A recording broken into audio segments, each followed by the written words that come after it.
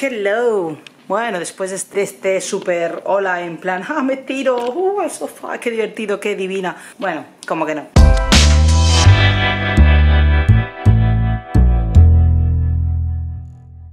Vale, pues nada, os voy a hacer un vídeo diferente. Ahora, venga, claro que sí, hay el recogedor ahí en medio. Me cago en Dios. Y desapareció. Os voy a presentar a todas las mascotas que tenemos en casa. Eh, bueno, la Momo ya la conocéis, que está aquí. La Momo va a tener un vídeo propio. En plan, Momo, mi perro. Mmm, no sé, ya veré cómo lo llamo. La podéis ver aquí. Muy bonita, pero buena. Rara, tiene un montón de manías.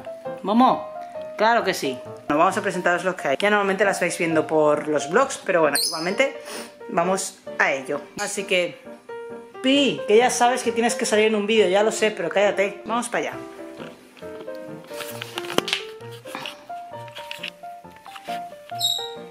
Aquí tenemos a Bichiflu. Hola Bichiflu. Uy, ay Bichiflu. ¿Qué sabes que estoy hablando de ti? En verdad no se llama Bichiflu, pobre animal. Se llama Obito. Obito es por el nombre de un personaje de Naruto. ¡Ah! ¡Ah! Me cago en la puta jaula que estaba al revés y entonces no os voy a poder enseñar. No sé muy bien por qué empezamos a llamarlo Bichi, Bichi, Bichi, Bichi. Se ha quedado con Bichi. Pero bueno, este es Obito. Las chinchillas cagan un montón, ¿vale? En la jaula un poco... No le gusta el heno, por lo que siempre tiene el heno tirado por el suelo, porque el heno originalmente va aquí. Pero como no le gusta y lo tira. Esto es su novia. Su novia es esto. Es un peluche de Ikea que el animal siempre lo usa para ponerse encima y dormir encima. Entonces, pues, ahí está, su novia. ¡Oh, qué bonito eres, bichi!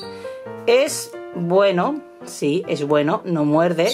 Eh, a veces, muy pocas veces te da besos, pero bueno, le hace más caso al Dani, la verdad. Y yo creo que le quiere más a él. A mí me tiene un poco de manía. ¿A que sí, bichi? ¿Eh? Y eso que yo te cogí cuando eras bebé. Pues la historia del bichi es... ¿Cuánto tiene ya este bicho? Pues tiene que tener unos cuatro años, creo. Cuatro, cuatro y algo. Dani dijo, ay, yo, yo quiero una chinchilla porque está mirando animales, no sé qué. Me gustan las chinchillas, ta, ta, ta, quiero una chinchilla, quiero una chinchilla, quiero una chinchilla. Total, al señor se se le antojó una chinchilla. ¿Y qué hicimos? Pues buscar una chinchilla por internet, básicamente. Las tiendas, pues como que no. Encontramos a un señor, tenía chinchillas que le habían criado.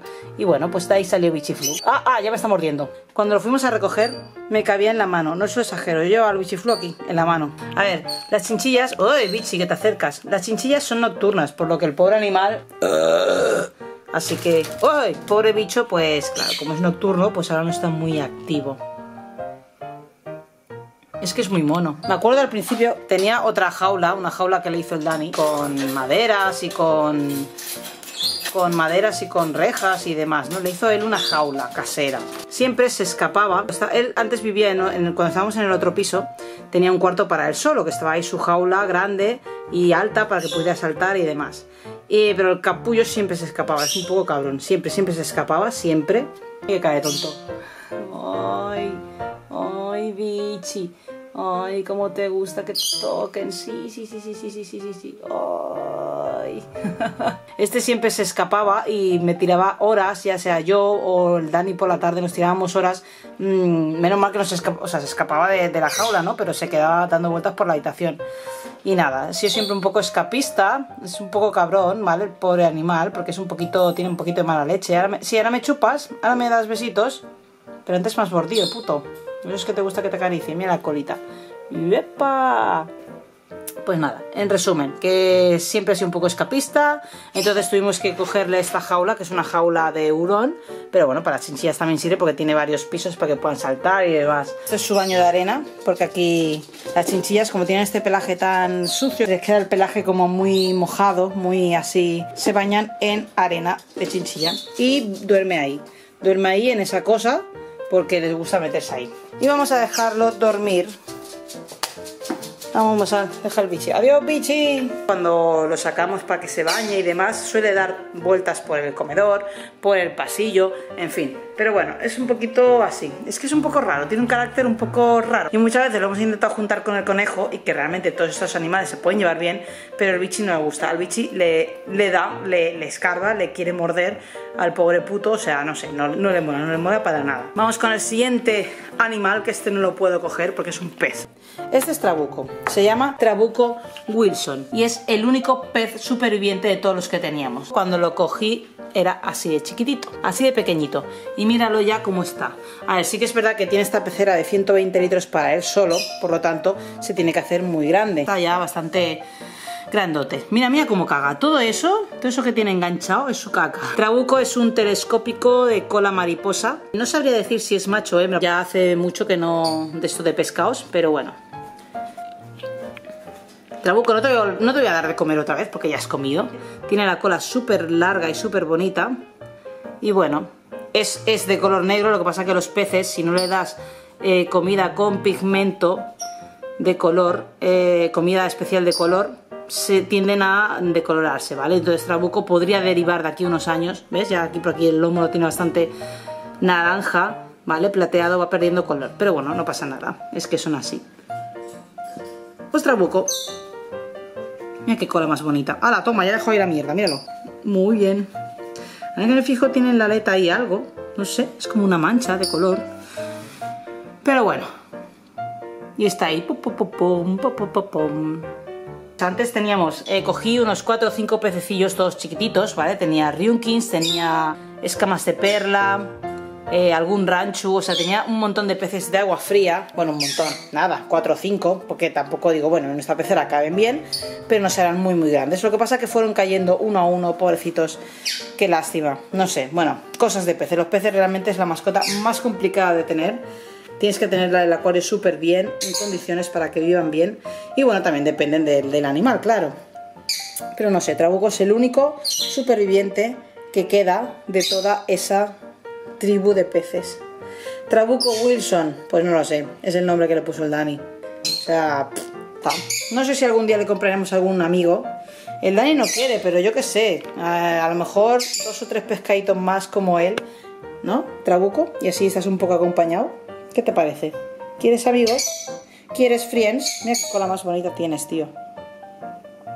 En fin, ese es Trabuco. Vamos con el siguiente bicho, que es el puto. Esta es su, su vivienda. El puto es un poquito más extenso de explicar. Hola, puti. ¿Qué tal, putiflin? Uy, uy, uy, uy, uy, uy. Bueno, adiós. Se va, se va a su casa porque no quiere saber nada del mundo. Uy, qué gordo estás, tío. Estás enorme, madre mía. Y mira qué uñas tienes. Uh, cabrón. Esas uñas habría que limpiarlas, ¿eh? Habría que cortarlas. Bueno, pues aquí está el puto. Otro que tiene un nombre que, no es el suyo.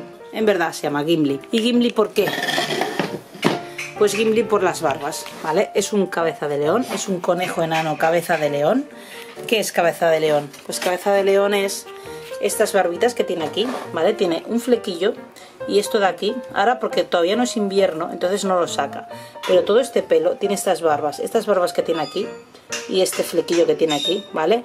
Cuando es invierno, invierno tiene pues como una cabeza de león, por eso se llama cabeza de león. Se llama Gimli, ¿por qué? Pues por, por las barbas, como tenía estas barbas tan rubias naranjas, ¿vale?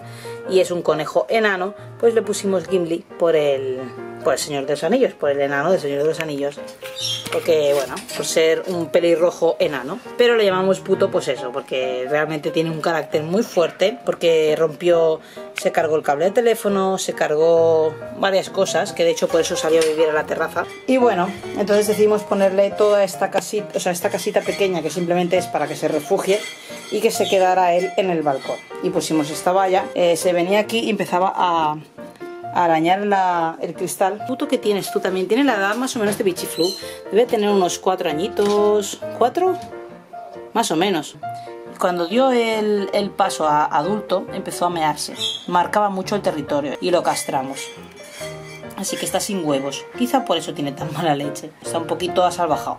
La historia del puto fue, estaba en la tienda, era el único conejo que no se vendía, o sea, semana tras semana estaba ahí, se hizo el más grande, nadie lo quería y a mí me da mucha pena. Y entonces dije pobrecito y pues bueno pues como, como esto pues dije pues me lo llevo. Mira qué flequillo tiene mira qué flequillo es que es una pasada. De hecho cuando era más pequeñito y que nadie le gustaba este conejo empezaba a tener unos churros porque ya le empezaban a salir los pelos de cabeza de león empezaba a tener así unos flequillos y unas barbas así súper bonitas porque es que realmente es súper bonito este conejo o sea mira qué precioso. Y entonces a todo el mundo le daba por preguntar por ese conejo y todo el mundo se lo quería llevar ¿vale? Y es como, ja, ahora, ¿no? Pobrecito. Pues eso, él vive aquí en la terraza súper bien, lo pasa muy mal en verano, por eso en verano, mira, y se chafa para que le acaricies. Por eso en verano tenemos que ponerle el toldo, porque si no, el pobre animal mmm, se chafa mucho de la calor que pega. Soporta muy bien el, el frío. Aparte, lo que decía, él saca todo su pelo este que tiene y por lo tanto, pues se cubre con su pelo del frío. Y nada, esta es su casa. Le encanta estar metido en su, en su tronquito de madera porque así le cubre el poco calor o el poco sol que pueda haber. Y bueno, cerramos para el Pi. Vamos a presentar a Pi, aunque ya lo conocéis obviamente. Y aquí está Pi. Este es Pi, que realmente no se llama Pi. O sea, y ese es el nombre más raro, se llama Flogoprofen. Esto. Flogoprofen. Es una crema como el Voltadol, el Voltaren y todas esas mierdas para cuando te duele el cuello o similar. ¿Por qué se llama Flogoprofen? Porque, porque el Dani y dice, vale, pues se llama Flogoprofen. Y pues se ha quedado con Flogoprofen. Flogoprofen es muy largo y cuando empezó a hacer pi, pi, pi, pi, yo llamaba pi, pi, pi, pi, pi, pi. ¡Ay! Es que responde su nombre, pi.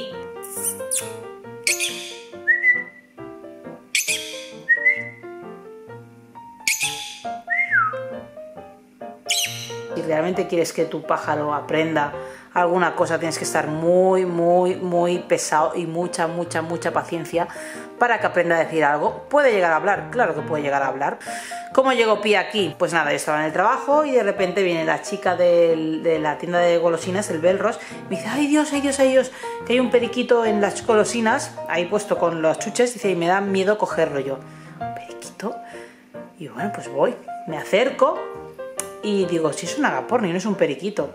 Y estaba este señor ahí acojonado en, en, el sitio de las chucherías. Y yo lo cogí, era creo que febrero o marzo, porque íbamos con el polar en la tienda. No, déjame la boca, ya me estás dando besos.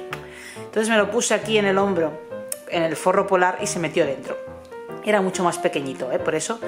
Y yo, uy, digo, este pollo es muy pequeño. Digo, es que parece muy, muy pollo. Digo, yo creo que es, no es que sea papillero, y aprovechando, o sea que estoy hablando de ti, sí, ya muchos besitos, ya lo sé. Pues le di papilla a este, empezó a comer ahí, a tragar papilla como si no hubiera un mañana. Y yo, madre mía, yo este pollo. Digo, bueno, digo, es papillero o como mucho acaba de salir del destete de, de los papilleros, digo, porque es que es súper pequeñito. Y no se volaba y se quedaba siempre en, en, en, la mano, en fin, o sea, como ahora, ¿no? Una pasada. Y yo dije, joder, digo, pues nada. Digo, esto es que se ha escapado, esto es que se ha escapado de algún sitio y, nada, digo, y es muy pollito, está desorientado y tal. Eh, la única vez que me ve entrar con una caja o una jaula de algo, ya dice, ¿qué estás trayendo en esa caja? Fuera. Pero bueno, se lo enseñé, era más pequeñito, ¿eh? dije, mira, es un pollito. Y se quedaba así, porque tú se lo acurrucabas y se quedaba súper acurrucado. No volaba, porque no volaba, empezó, empezó a volar al día siguiente un poquito, pero a revolotear, ¿sabes? Como si, ya te digo, como si estuviera aprendiendo. ¡Hala! Ya se ha cagado. Vino el bicho a mí, y yo lo traje a casa y como era así súper bueno, se dejaba tocar, era muy gracioso, bueno, sigue siéndolo, ¿vale? Es así, súper bueno y tal y cual. El Dan dijo, bueno, pues vale, no pasa nada, pues vale, ¿no? Pues nos quedamos con el pollo. Yo, pobrecito, que es un bebé, que no sé qué, que tal, cual, cual. Dice, bueno, pues nos quedamos con el pollo. De hecho, estaba en un transportín al principio. Decidimos cogerle pues la jaula esta que tiene aquí. Una jaula bastante grande, la compré en Zooplus, creo, sí es bastante grandota, ¿vale? Se abre por aquí, puedes dejar la jaula abierta para que le entre y salga. A ver, ¿qué haces con la momo ya, eh? ¿Qué vas a hacer con la momo? Es muy gracioso porque cuando está en el suelo te sigue. Hembra, macho, no lo sé, los tienen dimorfismo sexual, eso que significa que no se pueden ver si son macho o hembra solamente por los colores, no se sabe. Entonces tienes que creerte las cosas que se dicen, ¿no? Si tienen la cabecita más plana, es un macho, si tiene la cabecita más redonda es una hembra, pero no son 100% real. Yo realmente no lo sé. Trabajé con animales desde hace más de 10 años, todavía no se sabe ver. Es un agaporni rosicoli, eso sí, ¿vale? Es un rosicoli. Lo único que es 100% seguro es le haces un análisis de la pluma, un ADN, y entonces ya sabemos si es macho o hembra, pero que me da igual. Ahora el pelo. Total, por algunos comportamientos yo creo que es un macho, porque hay algunas cosas que hace que se pone un poco cachondo el pollo y y yo creo que eso es de macho.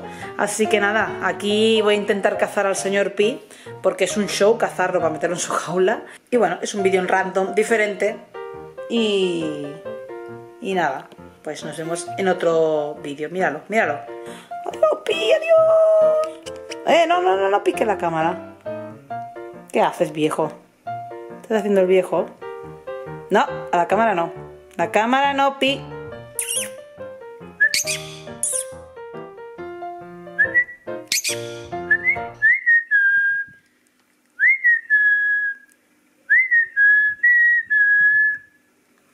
Mi meta es que aprendiera a silbar la epona y va a ser que no. ¡Ay, pi!